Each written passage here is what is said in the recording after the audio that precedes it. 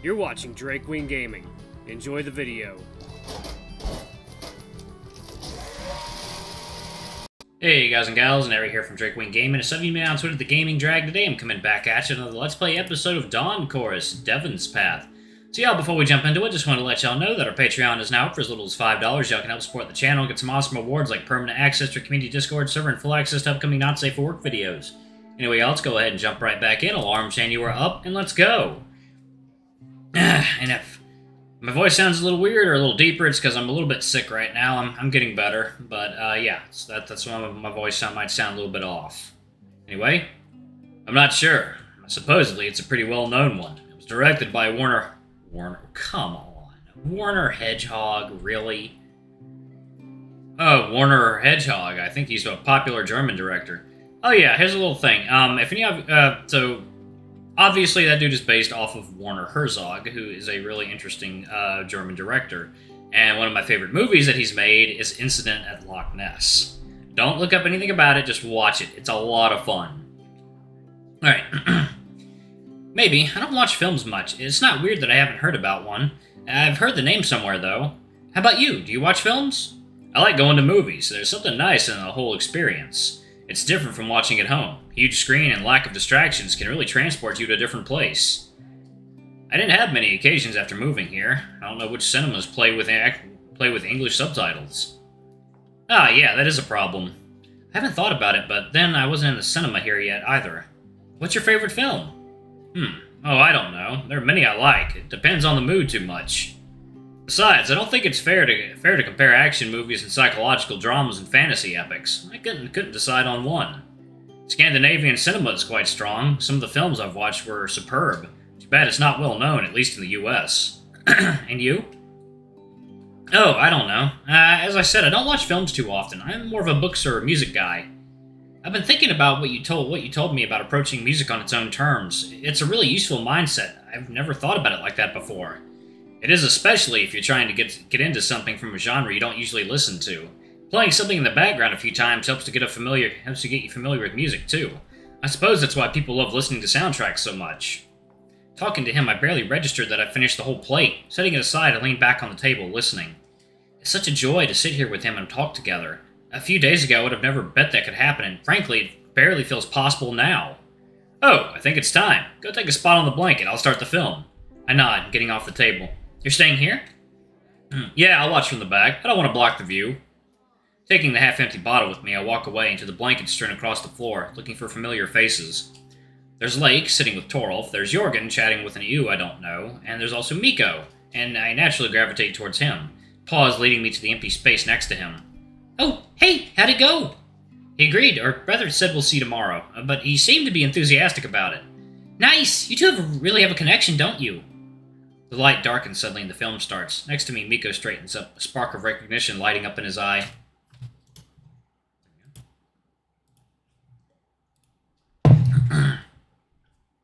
Project? Ah, so it is a well-known film. Only I didn't know it. Is it nice? I don't know. I've only heard of it. Uh, but it's Hedgehog. It, but it's, it's not going to be. It's not going to be light. Miko shushes me, so I lean back to lean back to and start watching.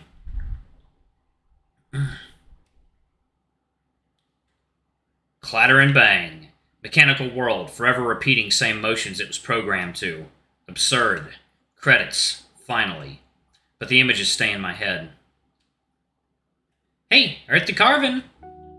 Still half immersed in the film's world, one paw standing there, another on this soft blanket draped over over a cold wooden floor. I look at Miko, puzzled. Hmm? It's over already. You can get up. Ah, right. My joints crack one by one as I get up, stretching my limbs. How'd you like the film? Well, it, for sure it wasn't what I expected. I don't, th- I don't think Devon expected this either. wasn't it supposed to be a comedy? I think it was, at least in part, but it was mostly a tragedy, yeah. I don't think I agree with it, though. It's a shame we didn't have a discussion panel or something like this planned for after the screening. I, I don't know what to think yet. I have to process what I've just seen first. Well, the film stripped the characters from choices, uh, stuck with stuck with themselves. Everything that happened to them felt predetermined, as if they were fighting not themselves, but some fate bestowed upon them. But I think choices are meaningful. I have to believe so, otherwise, what's the point of choosing anything instead of lying flat on the ground? The outcomes of the choices aren't determined by us. See, they're shaping our lives, but they don't put us behind the steering wheel. We can't be in control of everything. But I wouldn't go into such extreme pessimism as the film. I believe people can grow and change. I think we both did, and we don't have to repeat the past. I think I'll finish the day and go to my room now. If you'd like to talk or anything, I'll still be on my phone for a while. Thank you, and good night for now. The wolf walks away, heavy door of the cafeteria closing behind him without a sound that I expected. Perhaps fittingly, his absence here being a sudden silence, disorienting and unnerving. I'm left standing here alone. The room slowly emptied in the meantime, just a handful of students staying here to chat. I glanced back at the projector just in time to see Devon close the laptop, putting on his jacket and heading to the door outside to the terrace. Last notes of the closing song still plays in the speaker. Even if the projector is turned off, the black lens is like an empty eye. Standing outside, Devon stares at the moon, high up above the mountains, his paw feeling his pocket, as if he was looking for a pack of cigarettes that wasn't there. Does he even smoke? I don't think so. It wouldn't suit him. He's been kind of absent since we came back from town. Even when we talked before the film, it seemed as if his thoughts were elsewhere. I thought he was just busy, but now it's obvious to me that there's something eating him. Second, coffee time.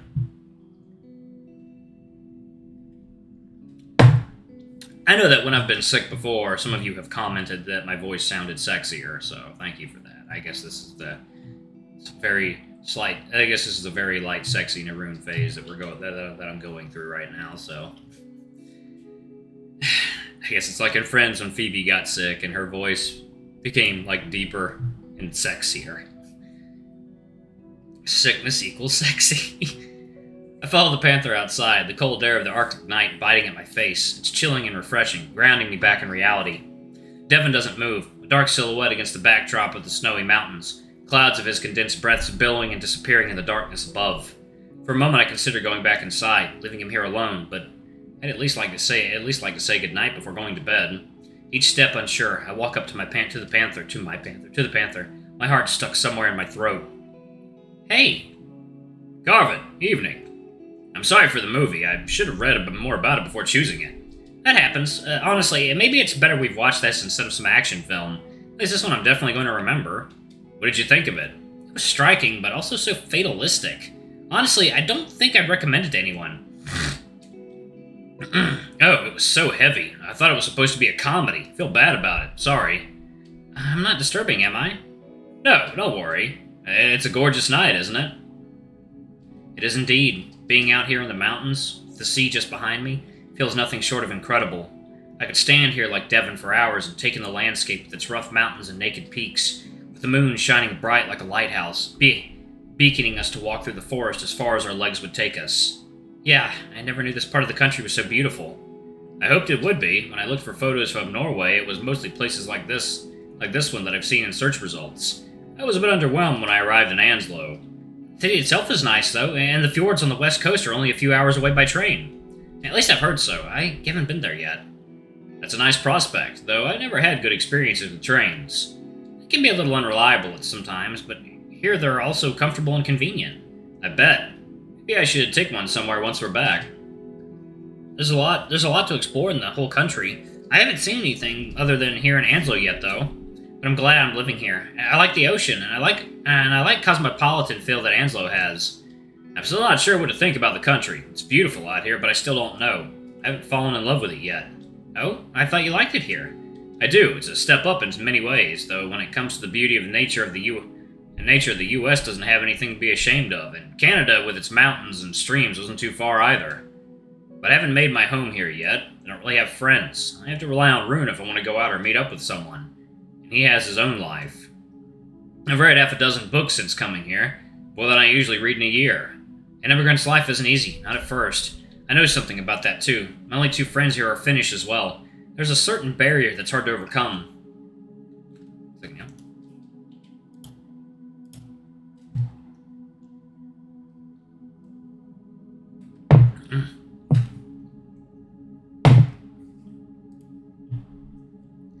Moved here in the summer, right? Yeah, in July. That's four months here. Not that much yet. Things could still change. I know. But I don't know how to make that change happen. I thought I was moving forward, but now I feel like I've reached a, fjord, a fjord and I'm just treading one around in one place. Why the sudden doubts? I thought you were happy with the move. Devon sighs, looking back at the guest house. Half the lights are on, making the wooden house look like a lantern, a safe haven in the dark of the wilderness. The panther looks like he's battling with himself, unsure of what to say, or maybe how much his brows furrowed. Just normal doubts. Moving abroad is a huge decision. But you already moved here. Is something wrong? You seem a bit absent today. Hope this isn't about me. I doubt it, but there's still a possibility, and it's eating me up. Finally, he straightens up, his face relaxed before tensing up again. I got a message from my ex. He said breaking up was a mistake and asked me to come back and move in with him. But you tried and broke up already. Uh, and you said you never liked it back there. He broke up with me. I have no words.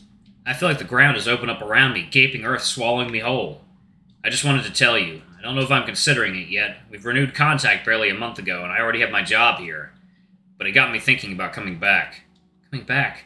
That would just be giving up, and after just a few months. And I wouldn't meet him ever again. It just seems like an awful idea. He left for a reason, and now he would go back to square one. I can't help but feel like I don't belong here. I moved here hoping it would solve all my problems, but I took most of them with me. I can't press him to stay. I don't even feel like I should ask about the messages or his ex. These things are way too private to prod. What can I do? You're in a country where like 15% of the people are immigrants. Everyone belongs here. Thank you. I'm happy you think so. Still, I need to think. I'm not making any decisions just like that, on the spot. And thank you, too, for talking with me. I hope to catch Rune to get things off my chest, but he disappeared somewhere. So thank you for listening to my ramblings. Honestly, I feel a bit stupid. It should work the other way. I should be there for you. I'll get us the tickets to the Philharmonic tomorrow, okay? It's my treat. You don't have to. I can pay for myself. It's no problem. It's no problem for me either. By the way, how about we move back inside? I can see you're cold. Yeah, I'd appreciate that. We make our way back to the warm guest house, sweet smell of cake still permeating the cafeteria, cozy and uplifting in combination with the dimmed lights. Devon takes off his jacket, throwing it onto one of the tables before diving under the table, re-emerging with a bottle of beer. I thought some beer after the movie would be nice. I only have one, though. You want to share it?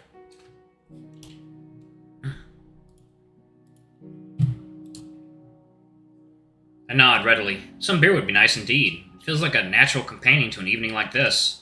We sit on the table again, panoramic windows before us, the world outside like a painting. Wait, you're above legal drinking age, aren't you? Legal age here is 18. I can be trusted with a beer. Besides, half a bottle? Even I would barely feel it.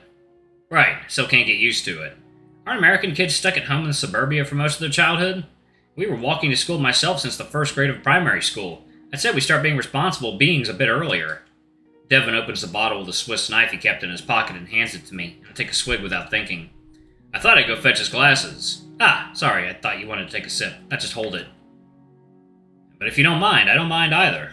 Devon takes the bottle from me, pressing it to his lips and taking a big gulp, drinking at least thrice of what I did. I glance at the label. It's an unusual beer. I think the most popular brand in the country. It tasted bitter but drinkable, just like normal beer. Incredible how quickly and easily some company puts him in a good mood. He really must be feeling lonely here. It wouldn't have to be. It wouldn't. It wouldn't have to be better back in the U.S. The Voice at the back of my head says, and I'm right here. Is it true what people say about the beer in the U.S. that it's canned piss? Not literally, no, but it's just bland. Even the standard corporate beer here is better. But at the same time, the U.S. has the best craft breweries in the world, so we both we have both the ends of the scale. wait, wait, wait! I hear that Germany has some of the best craft breweries in the world, not the U.S. Alright, I'm going to go ahead and pause it right there. Thank y'all so much for watching. Don't forget to like, comment, subscribe, ring that notification bell, and check out our Patreon if you can. It always helps. Before I go, I'm going to give a quick shout out to our lovely bronze tier patrons. Thank y'all for all you do for the channel. We greatly appreciate your support. Thank you to our silver tier patron, Kate Silvermoon. Thank you for going a bit above and beyond. It's greatly appreciated. Thank you to our gold tier patron, Armor. You're awesome. We love you. Thank you for subbing to ultimate tier. Anyway, if y'all want to get your names in the credits, get access to our not safe for work contents as little as $5. Alrighty, I love you all, and I'll see y'all in the next video. Bye-bye!